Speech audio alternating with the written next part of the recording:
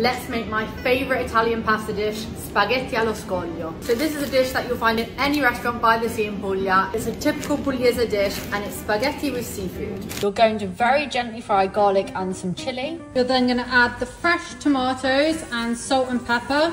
And you're just going to leave that to simmer for about 10 to 15 minutes until it becomes a sauce pop the lid on. So allo scoglio literally means by the rocks and it's basically all the fresh seafood you can get.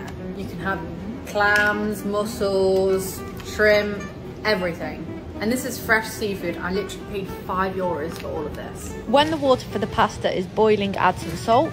I'm using pasta di Martino Dolce Gabbana pasta.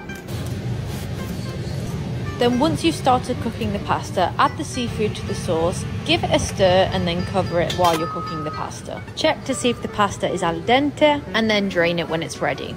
Add the spaghetti to the sauce and give it a good mix together. Then dish up and enjoy, it's that simple. Buon appetito.